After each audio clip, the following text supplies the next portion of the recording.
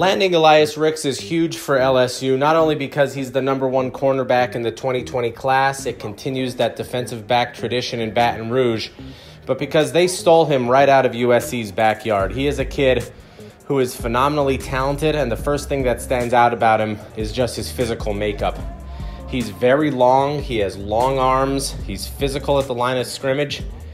For his size, he can turn and run with receivers and then he closes really well and knocks down passes thrown deep uh, and picks passes off, as has been seen in his junior season. He had eight interceptions on the year, six of them for pick sixes. So that's just an incredible stat line for him in his junior season. Um, and I think he's going to really be a special prospect down the line. And that's really probably the biggest reason why he picked LSU. He knows full well the defensive back tradition in Baton Rouge.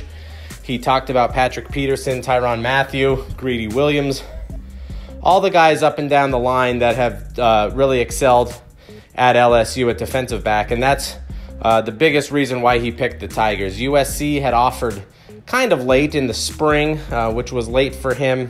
He was very serious about USC, as modern day kids tend to be. He looked at Ohio State a lot.